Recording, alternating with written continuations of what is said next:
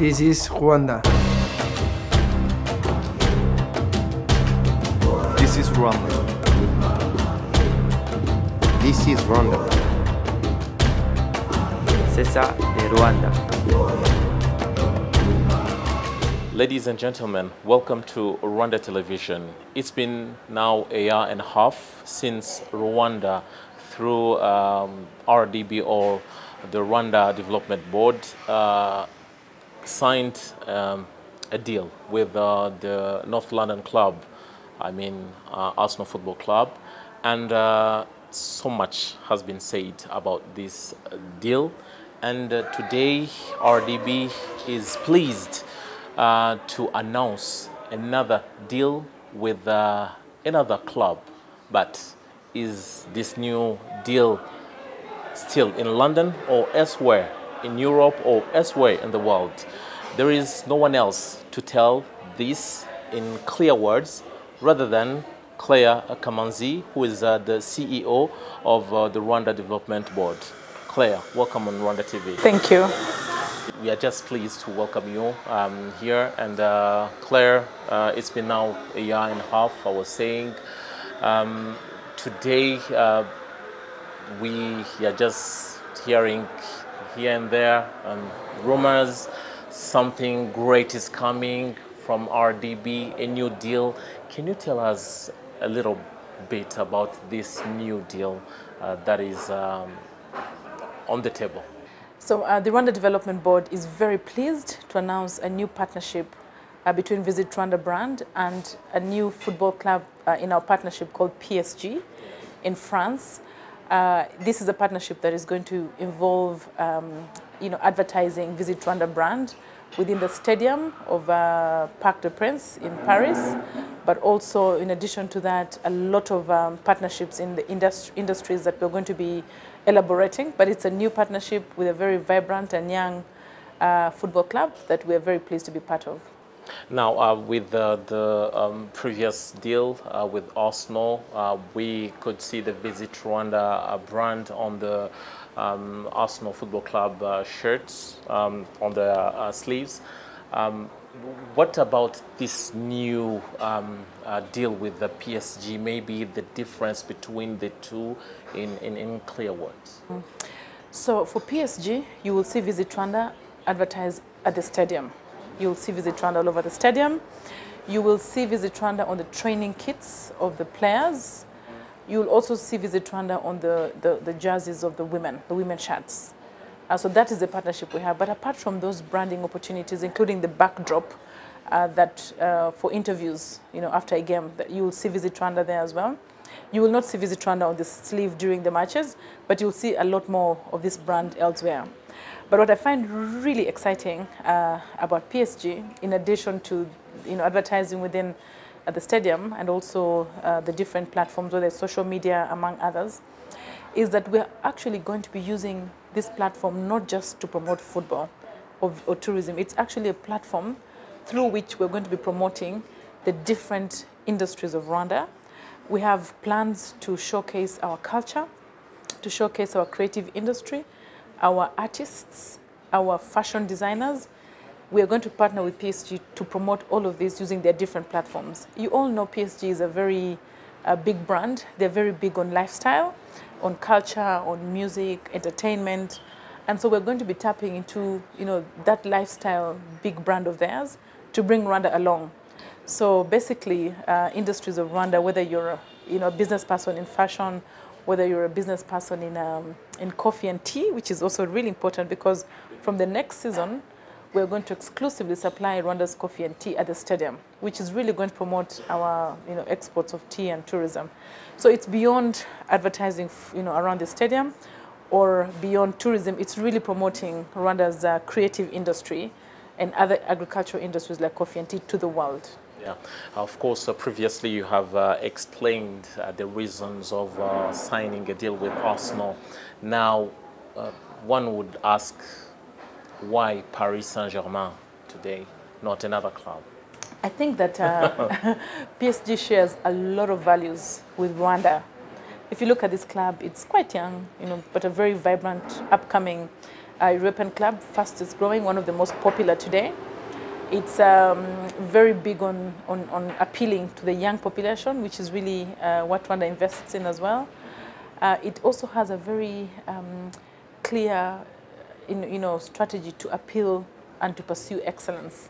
So from you know, being a, a, an appealing uh, football club to young people, but also a lifestyle brand, very much with what we're trying to promote. So we chose PSG because we saw that it's growing, it's dynamic, it's vibrant, it's an excellent football club, and partnering with Rwanda is a really big platform for us. Uh, speaking of uh, PSG, you mean uh, Paris and uh, you mean France. Uh, as a country, we all know that uh, the relations between the two countries, I mean, have been bumpy over the years. Now, one would say, is this also a sign of uh, maybe um, harmonization of uh, the relations between the two countries? Well, um, today, Rwanda and France enjoy warm and cordial relations. That's very clear. And today, we have many French investors looking at investing in Rwanda. I think one clear example is uh, Group Bolloré, that is into logistics, but also more recently, they are investing in a Kigali cultural village in Rebero. And, and that's one example of the French business people that are coming and interested in Rwanda. So we have a good and warm relationship with, uh, with France. But I must say that the decision to invest in PSG was really very much based on what the club had to offer, the values the, the club carried, and whether those values, uh, we shared them. And I can say that uh, on that front, we, are, we were very pleased about picking PSG as a partner. Yeah, speaking uh, of PSG as well, we know that uh, one of the biggest um, investors with this club, we have um, uh, Qatar as a country. The country has invested a lot of money in the in the club, and uh, we uh, all know uh, the warm relations between Rwanda and Qatar. Today, the two countries are enjoying warm relations. Now, one would say, um, does that have something to do with uh, the, the, the, deal with the PSG, knowing the club is owned by Qatar? Well, uh, again, uh, between Rwanda and Qatar, we also enjoy very warm and friendly, friendly bilateral relations, and we've, um, you know, have very good, you know, different aspects we're working on together with Qatar. But again, PSG as a club on its own was appealing, uh, and so we were able to look at the club, um, look at what they do, look at their potential, look at their outlook, look at their global appeal. And all of those just check the boxes for us, which is why we chose to partner with PSG. When you signed the, the, the deal with uh, Arsenal, again, it was more of uh, boosting the, the, the, the, tourism industry in Rwanda. But this time, we, it's more, it's beyond tourism. It's more of uh, other sectors. Now, um, Speaking of the tourism industry, um, one year and a half, what are the, some of the benefits, tangible benefits uh, from the deal with Arsenal? Okay, so first of all, it's uh, just a year and a half since we signed with Arsenal. Sure. And so um, it's uh, that period that we've been able to see the impact in two different aspects. One is uh, awareness, brand awareness. Today, Visit Rwanda is a very well-known brand and it is very clear that the partnership with Arsenal is what elevated that brand. That people today, you know, make their own products and they want to put Visit Rwanda. It's become a brand that people are very happy to associate with, whether they're Rwandans or non-Rwandans. So that part of brand awareness, extremely successful. And I think you can also see that from the attention that the world had on Visit Rwanda when we, we started with, with Arsenal. Today you have um, you know, all the key media houses, whether it's Financial Times, whether it's uh, New York Times, um, you know, CNN, um, and uh, British newspapers, all writing about how Rwanda is such a good place to come and visit. But I believe that this partnership played a big role in bringing Visit Rwanda to the minds of um, the people who write about travel, but also those who travel. Again, if you look at the, the social media outreach that we had, we're able to access millions and millions of viewers just by you know, being a partner with Arsenal. We also saw um, the type of uh, searches on Google increase dramatically and all of them searching about travel, which is a positive thing to search about, as opposed to, to the history that Rwanda had, which was a very common um, you know, search uh, subject that you found on Google.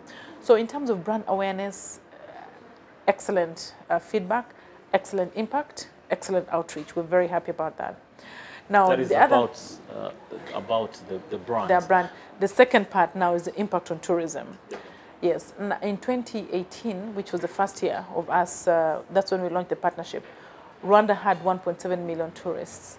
We had a 6% increase within the, the, the bracket for UK visitors. That's already a good sign of um, tourism growing. 1.7 million is a really big number of tourists coming to the country. But what we expect to see in the next two, three, four years is more numbers, more revenues, and I think that's something that uh, you will see uh, in, as the years go by. Yeah, speaking of the revenues, of course, um, you, uh, while signing the deal with Arsenal, the target of Rwanda, of course, through RDB was uh, to reach at least or to double the revenues from the.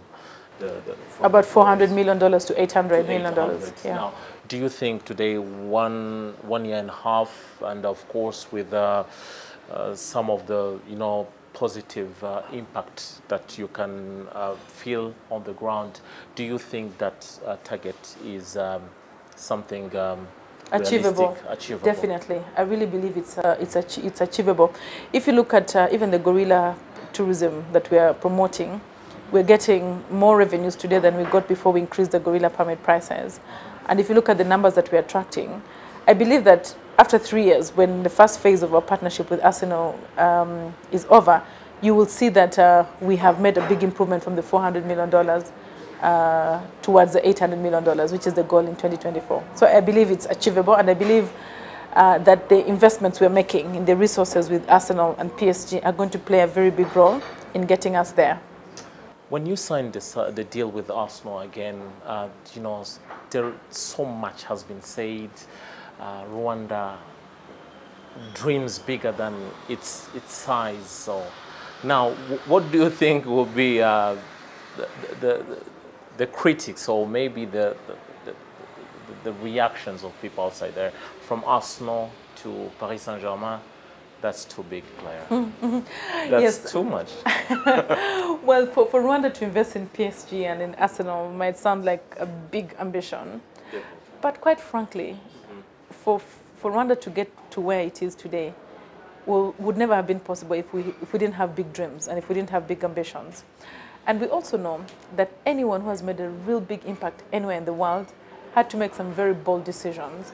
And we find this big and bold, but we also find that that's the right way to make big and bold results. You really have to think and invest in a bold and big manner as well. So yes, I'm sure the reaction will be, uh, you know, a, a lot of um, excitement, a lot of um, emotions about Rwanda's decisions.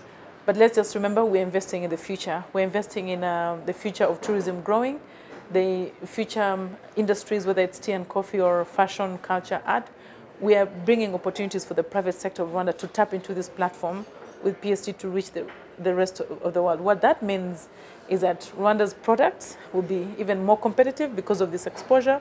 What it means is that more jobs are going to be created because we're promoting industries that give jobs. So it is just investing in the future. Now, uh, when you talk about Arsenal or PSG, the two are football clubs. Now, uh, someone who uh, is in the uh, in this sector here in Rwanda, I mean, in football industry or sport industry, uh, w- would like to know: Are there some other benefits? Um, our football industry here or our sport industry here will get from uh, that new deal because with Arsenal we have seen um, some specific programs with uh, you know uh, coaches from London or from from from from Arsenal who come time to time here to help our coaches and uh, young young young players to uh, maybe to, do well and maybe to organize more our football. Uh, is there something like similar uh, with the PSG? Yes, so for both um, Arsenal and PSG, football development is a key part of the partnership. Uh, specifically for PSG, we have uh, agreed on a specific revamping of uh, football development in the country. We, we're going to work on a certain number every year, and we're going to work on availing um, the facilities to enable good training of football uh, young football developers. And I hope that we can soon have Rwandan kids who grow and become competitive in football globally. If that happens, that is one of the objectives uh, of this goal. But yes, this partnership is also about football development. But as I said, it's beyond football development. It's promoting the industries of Rwanda and also promoting the brand of Rwanda, which, is, which has been clear in what we've done with uh, Arsenal. Uh, you may have seen in the news that uh, our partnership got an award as uh, one of the most unique and transformational uh, partnerships between uh, Rwanda and, and Arsenal. And so that those awards, as well as the awards that we got from Australia, Australia which looked at Rwanda one of the most unique luxury destinations for tourism, all these are happening because the brand is known, the brand is appreciated, and we work also very hard that when tourists come to, the Rwanda, to Rwanda, their experience in the country lives up to that standard. Yeah. Now, uh, do, do you are we um, expecting uh, something um, else coming uh, uh, after this? Because uh, or are we now have to be there and say we have to be um, waiting for big, big, big news from RDB? Well, uh, the big news today No is more PSG. the big news today is PSG, but we'll continue to do tourism promotion like we've been doing, trade fairs all Because over we, the we world. wonder after Arsenal, after PSG, what next now? There was also EWT selling EWTP selling tourism on on Chinese uh, Alibaba platform. That was also big. There was the Royal Tour, which is a documentary about visiting Rwanda. So we are investing in tourism in several aspects, including traditional aspects of uh, marketing and attending trade fairs for tourism. We bring tour operators on famili- familiar, familiarization trips to come and experience our tourism offerings. So we shall continue investing. But today's news is PSG. Now, uh, you know, for ordinary citizens, whenever they hear big, big, big things like this one, how do do they have to understand in easy words and easy way the, the benefits from everything that we are talking about here? How do we sense uh, the benefits on the ground? So first of all, what are we trying to do as a country for our people and as a government? Yeah. We're improving the lives of our people. That is the key thing. To improve the lives of our people, we need to find them decent jobs, number one. Number two, we need to make them productive in making products that are of value to the market. That will make them earn better incomes. So that is really what we're trying to do as a country. This partnership brings Rwandan products to a global level by accessing bigger markets, access, accessing hopefully bigger partnerships in different sectors, so that when they come to the country, not only do those platforms um, buy products from Rwanda and be able to give uh, a sustained uh, pipeline of jobs to the people that are producing the products, but also when they come to the country to visit, they, are, they need jobs, people in different aspects of tourism, whether it's transport or hotels or so we're actually investing in the ability to sustain job creation for Rwandans and productivity of our economy. Yeah, and uh, what about the, the, the, the, the private sector now? You are, every day you are raising the bar very high for them. Are they ready to follow the, Our private sector has come a long way. Today, there are many products made in Rwanda that you'd never have imagined five years or 10 years ago. Whether it's fashion, you know, if you look at uh, some of the brands we have, House of Tayo, uh, Sonia Mugabo, Haute Baso, Moshions, these are brands that have evolved just the last five years and they're very competitive. These are very good quality products. And so I believe that uh, um, they're ready to compete globally and to take advantage of these platforms. But I also know that we, together with them, have to keep investing in them even to become more competitive. Okay. Clare, thank you so much for being with us. Welcome. Ça tourne.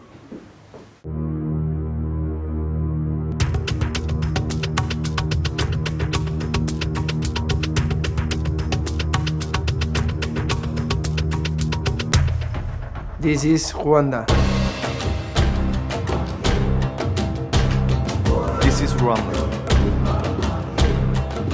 This is Rwanda. C'est ça, les Rwanda.